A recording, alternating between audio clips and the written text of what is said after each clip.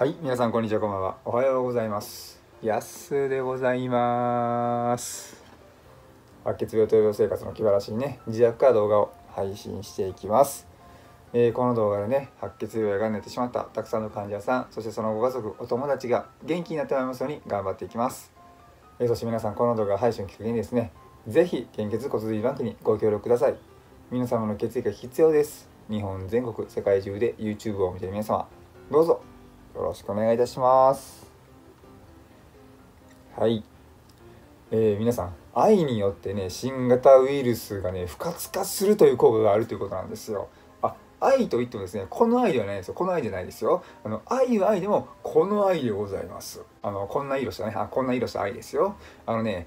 話を進めますね、えー奈良県立医科大学がですねあの愛の抽出物にね新型ウイルスを不活化する効果があることを確認したと発表したんですよ。あのね物質の表面についたウイルスのね大半を短時間で減少させて、えー接触感染を防ぐのに有効と言っています。でこの研究ではですね鳥取県の企業とね研究共同研究してですね実験には徳島県の徳島産の愛を用いました。このね研究結果ではですねマスクやね抗ウイルススプレーに応用できるとして徳島県のあの淡愛っていうやつのね新たな活用にね期待がかかっています。この実験ではね国立感染症研究所からねこう分与されたウイルスをですね細胞の培養などに使うベロイシック細胞っていうのがあるんですけどそれに感染させて試験ウイルスを生成しました。で愛のね葉っぱとか茎をですね熱処理を行ってですね糖やタンパク質を取り除いたものとその愛から抽出したポリフェノールっていうのがあるんですよ。でそれぞれの飼料を作って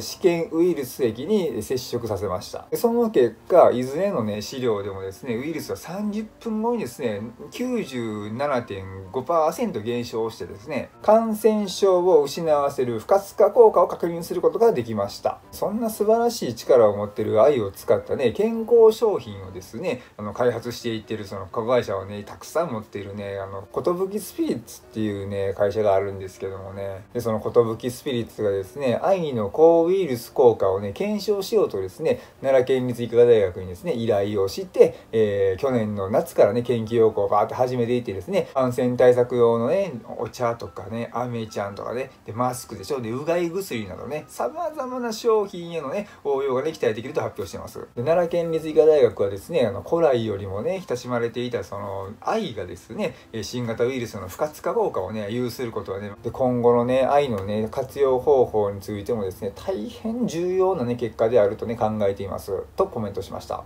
ねすごいですよね。まあ愛というのはですね、まあ、古くからねあの薬用植物としてねあの活用されてきたんですよ。生薬名はですね卵葉卵実と言います。でね薬用部分っていうのは葉っぱとねその果実実ですね。で薬効としては消炎解毒解熱作用などがあります。あのね愛の葉っぱとしての効果はですねあの染色染め物に使ってもね効果があったようでですね大事なねものっていうのは藍染めのね風呂敷にこう包めばね虫に食われないとかね。ほんでね藍染めのね旅を履けばですね水ぶしにならないなどねその効果はね想像を超えてきてですねそして藍染めにはね保温効果もあるなどとしてねあの藍染めの下着とかねあの服を着るとですね冷え性やね肌荒れにもいいそうです。で特にですね藍を好んで使ったのはですね武士だったようであの野外の戦いでですね傷を負ったとしてもねあの傷自体は致命傷でなくとも、まあ、そこからね可能してねその当時だったらねもう死に至ることもありました。しかしですねその藍染めの下着を着ていることでですね殺菌効果で可能しづらくなって止血効果もあるんだそうです、まあちなみになんですですけどもね鎌倉時代になるとね武士はね藍をね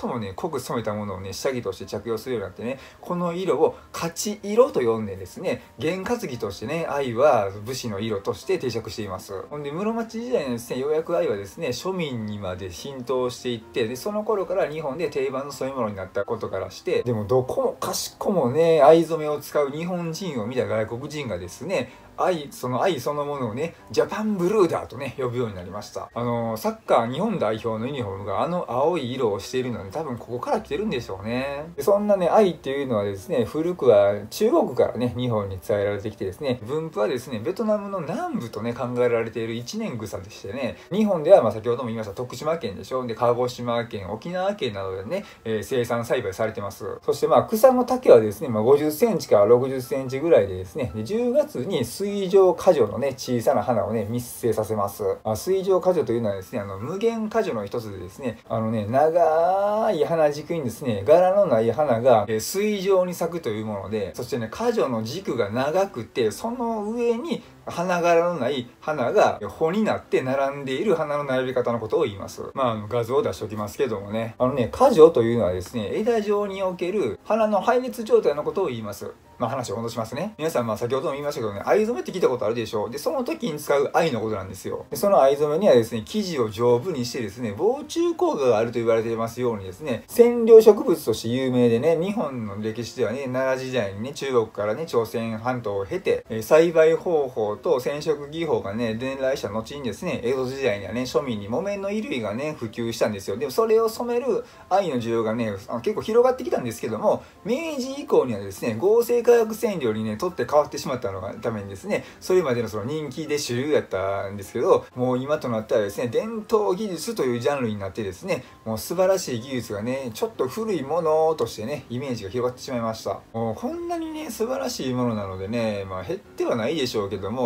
まだまだ増えていってほしいですよねほんで先ほどねその愛の葉っぱと茎を熱処理して糖やタンパク質を除いたものと愛から抽出したポリフェノールで、えー、それぞれの飼料を作って試験ウイルス液に接触させたとね、最初の説明の中に出てきましたけどもね、このようなね、草花のね、葉っぱや茎やね、根っこからですね、抽出したものでね、ポリフェノールを豊富に含んだね、飲み物がありますよね。そうなんですよ。お茶なんですよね。えー、奈良県立医科大学がですね、お茶のカテキンがですね、新型ウイルスを不活化させるという研究をしたとね、以前の動画でお話ししましたけどもね、考え方はそれと同じですよね。しかもね、それらがね、市販のお茶でできてしまうんですからね、もっとすごいことですよ。その中でもですね、実験を始めてから30分で不活化になったお茶もあったということなんです。そのメーカーとね銘柄っていうのはですねまだまだ発表されてませんけども市販されているペットボトル入りの緑茶2種類え茶葉から入れたね紅茶とね大和茶のね合計4種類ね。それぞれにですねウイルスが入った液体を混合してですね作用を調べた結果30分後にはですね紅茶は99.99%大和茶っていうのは99.9%までウイルスが減少しました。ペットボトルではですね緑茶1種類が99%まで減ってで別の緑茶っていうのはあまり変化がなかったようです。それに関してはですね、ボトル入りのお茶やね、その茶葉などの数百種類以上からね、無作為で選んでいてですね、感染力を失わせる効果が高いお茶と、そうではないお茶があったと説明がありました。えー、しかしですね、不活化になる仕組みっていうのはまだ不明なんですけどもね、あの、お茶に含まれるカテキンがね、関係することがね、可能性を高めてるんじゃないかとね、指摘しています。カテキンがいいんですよね。えー、カテキンというのはですね、ポリフェノールの中のフラボノイドの中のカテキンなんでこの中に入ってるんですよ。そんなカテキンの能力っていうのはですね、えー、血中コントロールの低下体脂肪低下作用がん予防抗酸化作用虫歯予防抗菌作用などがあります。でお茶の中にはですねその他にもねカフェインテアニンアミノ酸なんですけどあとビタミンとかサボリンとかね含まれてますのでねそもそも水分もねしっかり取れるしね健康にしてくれる飲み物なんですよ。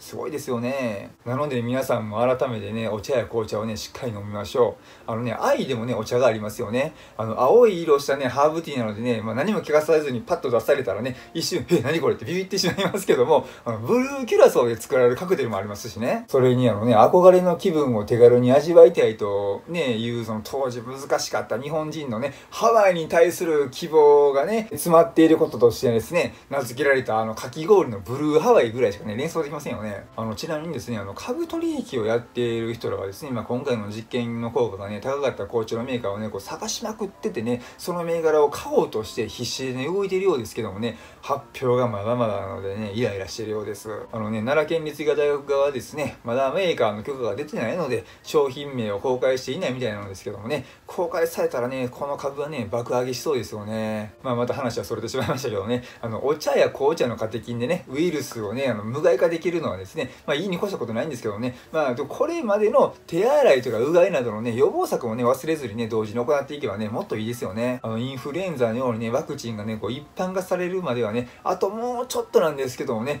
されてもですけどもしっかりあの予防していきましょう、えー、そんな感じでね愛もウイルスを不活化させる効果がある可能性が高いという話でございました。今日は以上です、えー、今日も最後まで見ていただきましてありがとうございました。バイバイ。僕は元気です。